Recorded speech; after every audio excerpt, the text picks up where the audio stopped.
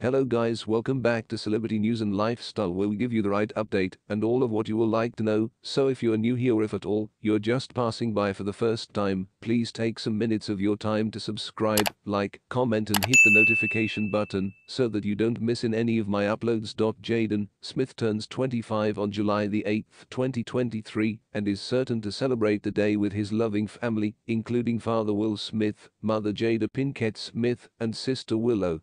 But 10 years ago, the actor and musician felt cheated. Born by his world-famous father and asked at the age of 15 to become an emancipated minor. Will and Jaden co-starred in the 2013 box office flop After Earth and in his self-titled memoir, released in 2022, we revealed how Jaden felt betrayed on his father's advice in comma, since it was Will who was just training his son for the teenager to become nasty, reviews and comments. After Earth was a dismal box office hit and a critical failure, and to make matters worse, Jaden took the hit. The fans and the press were absolutely cruel, she said and printed things about Jaden that I don't want to repeat. Jaden faithfully did everything I asked of him and trained him. Will wrote. We never talked about it, but I know he felt betrayed. He felt misled and lost faith in my leadership.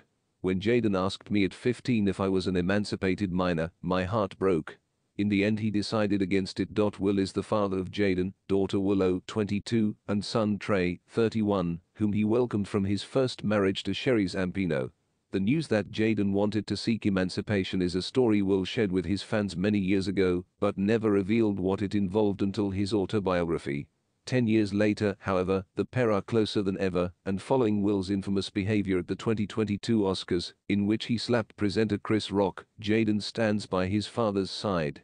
Shortly after the incident, the young actor tweeted a short and simple message that read, This is how we do it. Quote, Thanks for watching to the end celebrity news and lifestyle. Appreciate your subscribe and comments. And guys don't forget to subscribe, comma like this video, share and leave your comment on the comment section below your comments. Matters see you next time.